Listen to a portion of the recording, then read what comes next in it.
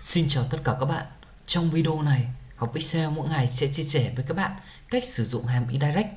Để các bạn tiện theo dõi thì mình sẽ chia sẻ qua 3 ví dụ lớn về hàm. Ví dụ thứ nhất đó là chúng ta sẽ tìm hiểu các trường hợp chúng ta tham chiếu sử dụng hàm indirect. Trường hợp số 2 đó là chúng ta sẽ là thống kê các giá trị theo vùng, tức là chúng ta sẽ xác định được giá trị ở chúng ta có bảng danh sách. Chúng ta sẽ là chúng ta xác định được cái phần về giá trị nhỏ nhất hay lớn nhất hay trung bình theo từng khu vực nó tự động mình chỉ cần click chọn thay đổi thì nó sẽ tác động đến. Và trường hợp số 3 đó là chúng ta sẽ là à, dò tìm và tổng hợp giá trị từ sheet khác. Tức là ví dụ như ở đây chúng ta có phần về danh sách về trái cây chúng ta có ba sheet là sheet 1, sheet 2 và sheet 3 thì bây giờ thì chúng ta muốn là lấy cái giá trị từ các sheet này sang đây tự động. Đó hay là cái phần về tổng cộng như này. Thì đó chúng ta sẽ dùng hàm indirect và bây giờ thì mình sẽ hướng dẫn về với các bạn về chi tiết về các trường hợp. Đầu tiên đó là hàm indirect này thì mục đích để trả về tham chiếu được chỉ rõ bằng một chuỗi văn bản. Và cú pháp này indirect thì có ref sau đó thì A1 ở đây trong đó thì ref text đó là cái tham số bắt buộc. Chúng ta sẽ đến các ví dụ. Đối với ví dụ 1 đó là các trường hợp tham chiếu thì chúng ta thấy nó chia thành bốn cái trường hợp lớn. À, như chúng ta thấy đây trường hợp số 1 đó là uh, giá trị của cái ô. Tức là ví dụ đây chẳng hạn chúng ta viết là indirect sau đó thì chúng ta sẽ mở ngoặc dấu nháy kép ở phía trước và phía sau ô chúng ta cần uh, lấy đến thì nó sẽ lấy cái giá trị trong cái ô đó. Ví dụ đây chẳng hạn mình sẽ indirect sau đó thì mình điền về nháy kép này. Đó sau đó thì lấy giá trị ô là đây là C5 thì nó sẽ lấy ra cái giá trị tại ô đang bôi vàng đây hiện tại đang đứng. Tiếp theo đó là từ một cái giá trị tại ô trường hợp số 2 từ giá trị tại ô tức là chúng ta sẽ đang viết direct ở đây là C6 giá trị tại ô C6 đúng không C6 ở đây thì chúng ta thấy là C6 thì nó lại đang chứa cái giá trị của cái ô là tìm đến ở đây là C5 nên chúng ta thấy là khi chúng ta chọn vào viết là indirect của C6 như này, thì nó sẽ lấy đến cái giá trị OC5 đó, hoặc các bạn có thể theo dõi rõ hơn, chúng ta vào cái thập formula. Đó, tích chọn tiếp. Sau đó chúng ta di chuyển xuống dưới thì chúng ta sẽ thấy thì nó sẽ tích chọn vào indirect của C5 đúng không mở ngoặc nháy kép ở đây. Dấu nháy kép ở phía trước, phía sau của ô này thì tức là lấy giá trị tại ô C5 ở đây. Đúng không đó thì sẽ thay đổi theo đây. Là ví dụ chẳng hạn mình sửa ở đây là ABC thì ở đây nó cũng chạy, sửa hết thành ABC ở đây chẳng hạn. Đó, là hai trường hợp đầu tiên là từ giá trị ô và từ cái ô nó có chứa cái giá trị như nào thì cụ thể là ở đây. Tiếp theo đó là cái trường hợp là tham chiếu gián tiếp. Gián tiếp ở đây á, thì chúng ta sẽ có một vài cái ví dụ như sau. Ví dụ như tham chiếu gián tiếp chúng ta sẽ có đây là thay vì việc là uh, mở ngoặc kép chúng ta viết là mở ngoặc kép uh, rồi là C5 thì mình sẽ tách tách ra đây đó là tách riêng cái phần về. Ở đây là cột ờ, tại OC này. Đó ô cột C này. Được chưa? Sau đó thì mình sẽ để riêng cái số 5 này thì mình sẽ tách riêng ra này. Để đó thì nó cũng lấy ra được cái giá trị nó cũng mục đích của cái việc là chúng ta tách như này. Đó. Đó thì nối lên thành chẳng hạn là C5 đó mà kép thì cũng lấy ra học Excel mỗi ngày như này à, thì cái bài toán này sau chúng ta sẽ là tham chiếu ấy. Chúng ta viết công thức để sau chúng ta muốn công thức là động tức là nó sẽ chạy tự động ấy thì chúng ta sẽ tách tách như đây cũng vậy. Ví dụ thay vì việc là viết trực tiếp là số 5 thì chúng sẽ có thể là viết là column uh, của E3 chẳng hạn thì nó sẽ lấy là chỉ số 5 và sau chúng nó kéo thẳng nó sẽ chạy chạy về cái ô phía sau đó cái cột này. Tiếp theo đó là chúng ta sẽ là tham chiếu gián tiếp chúng ta sẽ thấy tiếp trường hợp này nữa. Đó là indirect à, chúng ta sẽ có là C8 chúng ta cũng tách chỗ này. Ở chỗ này chúng ta sẽ là tách ra C8 kết hợp với C8 thì chúng ta sẽ là indirect của C8 C8 ở cái ô C8 này nó sẽ là có cái tên, đó là sheet 2 đúng không kết hợp với và à, ở chỗ này thì chúng ta lấy tại dữ liệu tại một cái sheet khác thì nó sẽ, chúng ta có cái dấu chấm than này này. Sau đó thì giá trị ô cụ thể ở đây là ô, nó sẽ là tìm đến từ indirect này, nó sẽ tìm đến cái ô đấy chúng ta có thể theo dõi đó là sheet 2 OA1 tại sheet 2 đúng không đó thì nó sẽ nên là chỗ này tôi mình có thể là sửa lại chẳng hạn học Excel mỗi ngày. Đó thì sang đây thì là kết quả nó cũng chạy theo thay vì ABC như được thì cái khâu chỗ này nó sẽ tách tách để lấy dữ liệu tại một cái sheet khác đúng không đó tham chiều đến. Đây là đối với việc Office à, là 365 đang chia sẻ với máy. Còn đâu các bạn có thể là thao tác máy các bạn dùng Office thấp khác như 2016 2019 thì các bạn có thể là tham khảo. Đây indirect chúng ta mở à, dấu nháy kép rồi là nháy đơn ở giữa sau đó nháy kép sau đó nối với dấu và đó thì chúng ta nối như này như ví dụ ở đây. Và trường hợp số 4 đó là nối với việc là các cái vùng đã đặt tên. Ví dụ như chẳng hạn là mình indirect đến ở đây đó là OC9 OC9 ở chỗ này thì chúng ta thấy là OC9 nó đang chứa cái giá trị là cái chữ là KQ đúng không ạ? Đây nó chứa giá trị là chữ KQ mà trước đó thì chúng ta nhìn có thể theo dõi là mình đã đặt tên ở cái phần về cái KQ này, tức là ô ở đây chẳng hạn là OC5 này, mình đã đặt tên KQ được chưa? Đó, thì các bạn có thể kiểm tra lại trong phần này. Thì trước đó mình vào Nepot mình đã đặt tên rồi. Thì ờ, KQ như này, thì nó sẽ chạy ở đây là KQ thì nó sẽ dò tìm đến việc là cái giá trị ở đây này. Đó, chúng ta sẽ nhìn, nó sẽ đến cái chữ KQ này. Mà KQ thì đã đặt tên nó bằng C5 thì nó sẽ tham chiếu lấy giá trị tại áo với xem mỗi ngày như này. Các bạn có thể thay đổi, ví dụ mình sửa thành 123 thì ở đây nó cũng phải sửa thành 123 chẳng hạn đó. Đó thì nó cũng chạy theo. Được chưa? Thì đó là bốn cái trường hợp uh, uh, tham chiếu khi mà chúng ta sử dụng indirect để chúng ta vận dụng các trường hợp mở rộng phía sau. Thì tiếp theo đó là chúng ta sẽ chuyển sang cái ví dụ lớn thứ hai đó là chúng ta sẽ uh, thống kê về việc là cái giá trị theo vùng. Uh, ví dụ chẳng hạn vùng uh, miền Bắc này uh, miền Trung này uh, miền Nam. Được không? thế thì uh, cái khâu chỗ này để chúng ta thống kê theo theo miền như này miền Bắc miền Trung miền Nam chẳng hạn đó thì theo cái giá trị là lớn nhất nhỏ nhất hoặc là tổng số thì chúng ta thấy là để xác định nhỏ nhất lớn nhất trung bình hoặc là tổng số thì chúng ta sẽ dùng dùng một số cái hàm như là min để xác định nhỏ nhất này. Lớn nhất thì max này chẳng hạn. Trung bình thì chúng ta dùng average và tính tổng thì chúng ta dùng hàm sum. Tuy nhiên thì bây giờ thì nó sẽ phải là xác định các giá trị nhỏ nhất này lớn nhất. Chúng ta có thể check trước ví dụ kết quả miền Bắc chẳng hạn. Giá trị uh, Khâu ở đây nhỏ nhất bằng 10 đúng không ạ? Lớn nhất đây là mắc là 26 đây. Đúng không ạ? Sau đó xác định về trung bình sau đó là tổng số. Để chẳng hạn. Đó thì các bạn có thể kéo chúng ta check ở cái phần à, status phía dưới này nó hiển thị cho chúng ta chẳng hạn. Đó. Thì chúng ta sẽ thấy bây giờ thì cách làm chúng ta sẽ thấy như sau. Chúng ta sẽ phải cần đấy đó là việc là khi chúng ta tích vào cái vùng như này thì nó sẽ chạy theo đúng không thì chúng ta sẽ thấy là như này. Ờ, chúng ta sẽ ở đây đó là nó sẽ là thể hiện về việc là uh, theo miền miền ví dụ chẳng hạn miền Bắc miền Trung miền Nam như này rồi chúng ta sẽ đặt tên cho nó. Cụ thể là trước đó thì uh, mình đã đặt tên đây chẳng hạn. Đó ví dụ chẳng hạn dữ liệu ở cái vùng đây mình sẽ đặt cho nó là vào Nepot mình đặt cho nó chữ Bắc. Tiếp theo thì ở cái dữ liệu ở miền Trung mình đặt ở đây là chữ Trung và đây là Nam. Nên là khi trước đó thì mình đặt tên thì đơn giản thôi. Ví dụ chẳng hạn mình sẽ tích ở đây. Đó chọn vùng dữ liệu các bạn. À, sau đó thì vào cái namebot này các anh chị và các bạn thì chúng ta sẽ gõ tên. Đó và namebot này rồi bấm enter nó sẽ lưu lại tên. Tương tự như vậy là Trung miền Trung miền Nam cũng vậy. Chúng ta thực hiện tương tự thì mình sẽ đã đặt được tên ví dụ như mình chọn đây. Đó Bắc này. À, miền Nam này. Đó hay miền Trung. À, thì mình sẽ indirect đến cái việc là cái vùng đã đặt tên. Thì chúng ta lại vận dụng cái bài toán là với vùng đã đặt tên indirect đến cái vùng đã đặt tên. Được chưa? Và từ cái ô ô chứa giá trị này thì chúng ta sẽ vận dụng sang bài toán đây. Tức là như sau ví dụ này chẳng hạn. Ờ, ở đây á, thì mình sẽ indirect này. Bằng này indirect để chúng ta kiểm tra nhé. Indirect của cái giá trị đây chẳng hạn miền Trung đi. Đó thì mình sẽ tích chọn đấy chẳng hạn miền Trung này để kiểm tra kết quả nhé. Hoặc miền Nam đây chẳng hạn.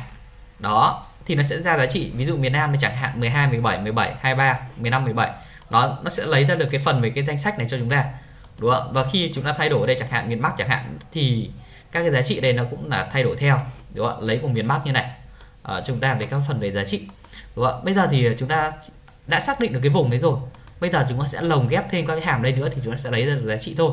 Tức là cụ thể đây á thì chúng ta sẽ làm là như sau. Ví dụ đây chẳng hạn. À, chúng ta sẽ làm này bằng indirect. Indirect của cái việc là ô giá trị như này G13 như này. Nó đã xác định vùng này sau đó chúng ta sẽ lồng ghép thêm các hàm nữa. Ví dụ đây chẳng hạn là dùng hàm min để chúng sẽ tách ở đây ấy, nó sẽ lấy ra được cái phần về giá trị nhỏ nhất này. Đó sau đó chúng ta kéo xuống dưới. Trước khi mà kéo xuống dưới chúng ta thấy thì chúng ta giữ nguyên cái giá trị tại cái ô này. Chúng ta dò tìm đến sẽ dùng là F4 F4 để chúng ta sẽ cố định lại. Đó sau đó chúng ta sửa. Sửa ở đây đó là sửa lại một chút. Đó là xác định lớn nhất thì chúng ta sẽ dùng hàm mắc à, tiếp theo đó là tính về trung bình. À, chúng ta sẽ dùng average. À, và xác định ở đây tổng thì chúng ta sẽ dùng hàm sum. Đó thì từ đó chúng ta sẽ thấy thì nó sẽ là tổng hợp ra cho chúng ta về các phần về các giá trị này. Nó tự động nó thay đổi điều chỉnh theo khi mà chúng ta sẽ tích chọn. Có đâu việc là chúng ta sẽ tạo cái phần về cái cái tích chọn đấy cái chỗ này thì nó đang ra cái phần mình đã đang đưa nó về cái việc là số thập phân. Không lấy số thập phân thì nó sẽ làm tròn như này. Rút gọn đi chỉnh về định dạng thôi còn đâu khâu để nó ra cái việc là cái tích chọn ở bắc hay trung nam đấy á thì bản chất đó là trước đó thì mình có dùng cái data vision. Tại cái ô này chúng ta chọn về khu vực này chúng ta vào cái thẻ data sau đó tích chọn đến data vision. À, rồi sau đó thì sẽ vào cái tên data vision thì sẽ vào cái setting rồi chọn cái list lựa chọn list rồi sau đó chúng ta sẽ chọn cái danh sách đây chẳng hạn.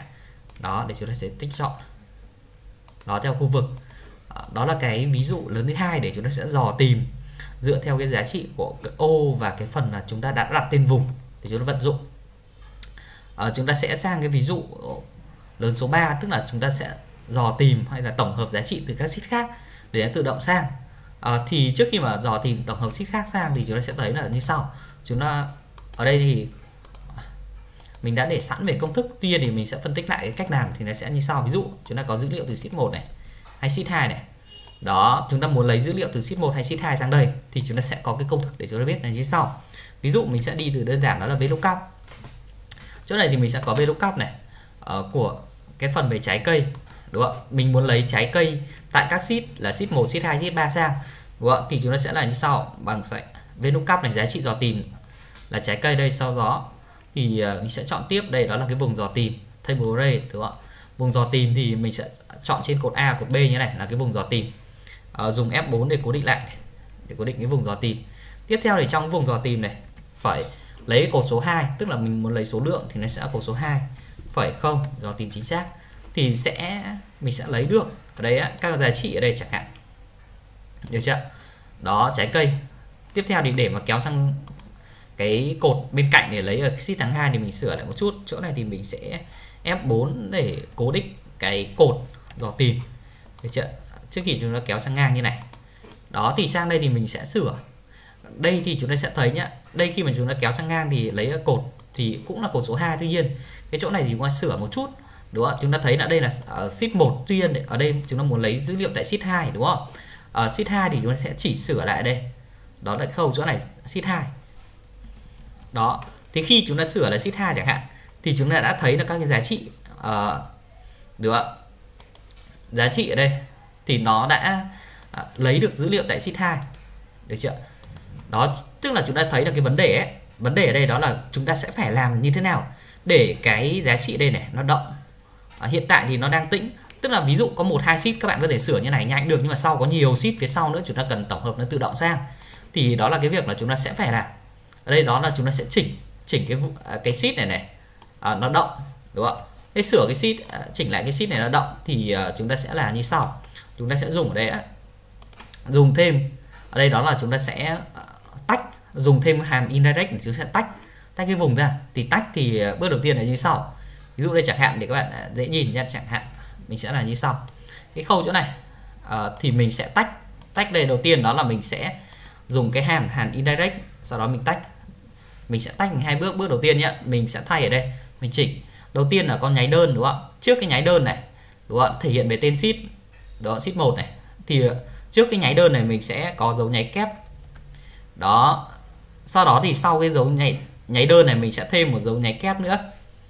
Sau đó thì ờ, sẽ viết dấu và được chưa? Sau số 1 này thì mình sẽ viết tiếp dấu và đó.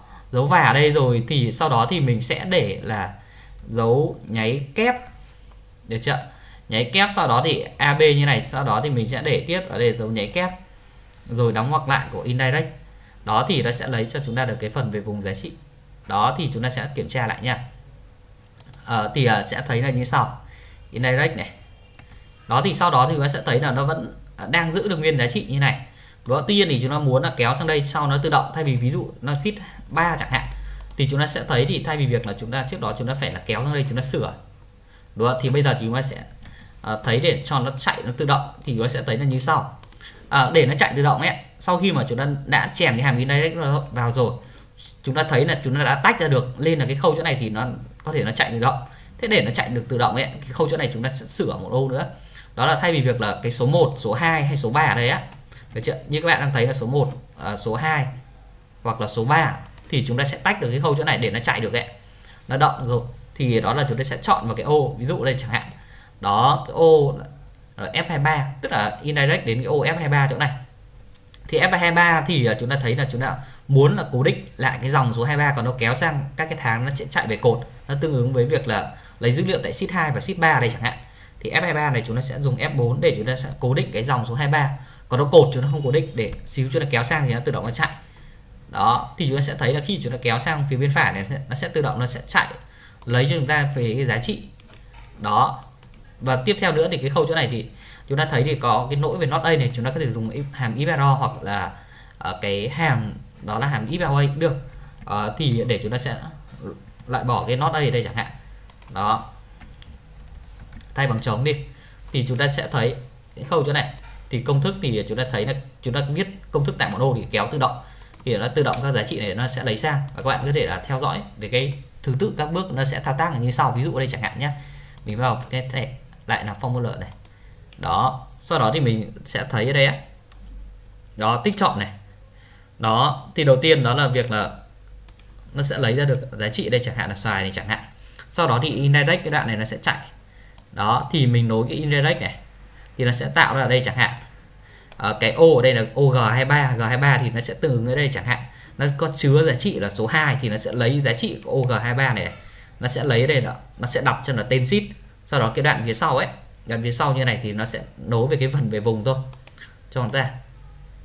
Đó thì nó sẽ lần lượt nó lấy giá trị và nó tự động nó sẽ dò tìm được lấy các giá trị dựa kết hợp việc hàm indirect để chúng ta sẽ dò lấy các giá trị tại các ô phía bên trên như này. À, thì đó là cái à, cái vấn đề đó là chúng ta lấy được cái phần về giá trị. Và các bạn có thể là rõ hơn cái khâu đó thì mình có để sẵn về việc là cái dấu uh, nháy kép hoặc nháy đơn như nào thì mình có để sẵn ở dưới đây rồi để các bạn có thể tham khảo tiếp theo đó là việc là đó thì sau chúng ta có dữ liệu ờ, thêm ở các cái sheet khác sheet số 4 hoặc số 5 gì đó thì chúng ta sẽ tự động chúng ta sẽ bổ sung thì nó tự động nó sẽ update và chúng ta kéo công thức được. À, tiếp theo đó là chúng ta muốn là ví dụ đây chẳng hạn là chúng ta muốn là tổng hợp tổng hợp giá trị à, ở đây chẳng hạn là tổng cộng chẳng hạn. Thế thì chúng ta muốn ở đây tổng cộng nó sẽ lấy ra cho chúng ta là à, tổng của cả ba sheet của ba sheet này sẽ là sheet 1, sheet 2, sheet 3 nó sẽ ra cái tổng cộng thay vì nó lấy dữ liệu tại từng sheet như này. Thế thì để mà tổng cộng thì đầu tiên thì chúng ta sẽ dùng cái công thức này đó là chúng ta sẽ dùng hàm sum if hoặc sum if ví dụ đây chẳng hạn là mình sẽ chọn là sum if này. Thì mình sẽ lấy giá trị. Ví dụ ở đây chẳng hạn là tại cái sheet 1 sheet 1 thì mình sẽ chọn đây là sheet 1 thì cấu trúc của sum if nó sẽ là sum à, vùng tính tổng này. F4 lại để cố định. Tiếp theo đó là cái việc là cái vùng ở đây là vùng dò dò tìm này. À, mình sẽ bấm tiếp F4 để chúng ta sẽ là cố định lại này, tiếp cái vùng dò tìm. Đó, tiếp theo đấy, đó, chúng ta sẽ chọn tiếp, đó là cái giá trị chúng ta sẽ rồi đó, giá trị điều kiện. Được chưa? Thì cái hàm sum s đó là cái việc là vùng tính tổng này, sau đó thì vùng điều kiện này, sau đó điều kiện, đúng không thì chúng ta sẽ thấy là như sau, chúng ta kéo xuống dưới thì nó đang cho chúng ta, đó là chúng ta dùng cái hàm sum s như này, đang cho chúng ta là cái việc là cái giá trị nó tại một cái sheet thôi. Tuy nhiên thì bây giờ chúng ta muốn là tổng hợp các cái giá trị tại các sheet khác nữa. Nó về kết quả tại một ô này luôn tức là của ba sheet này. Tổng của việc là cái loại trái cây là xoài chẳng hạn của tổng ba sheet là bao nhiêu? Thì ờ, chúng ta sẽ làm tiếp là như sau. Thì trước tiên thì chúng ta à, cái chỗ này chúng ta sẽ tách ra đấy. Lại giống như cái bài toán vừa rồi ở đây á giống như cái hàm indirect chỗ này thì ờ, chúng ta cũng làm chèn thêm indirect để chúng ta sẽ là xử lý.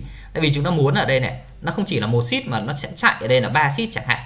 Đó ba sheet ở sau chúng ta có thể nhiều hơn thì nó tự động nó chạy thì chúng ta sẽ dùng tiếp cái indirect indirect ở đây đó indirect rồi chúng ta cũng tương tự như bài toán vừa rồi đó là chúng ta sẽ đầu tiên để chúng ta sẽ tách ở đây thì chúng ta sẽ mở dấu nháy kép này trước dấu phận trước nháy đơn đây chúng ta sẽ nháy kép này sau đó thì sau cái nháy đơn đây chúng ta lại thêm uh, một nháy kép nữa sau đó chúng ta nối với dấu vàng được chưa để chúng ta tách tách cái phần về cái việc là tên sheet này này đó tiếp theo chúng ta sẽ tách tiếp đó chúng ta sẽ thêm. Ngay sau số 1 chúng ta sẽ thêm.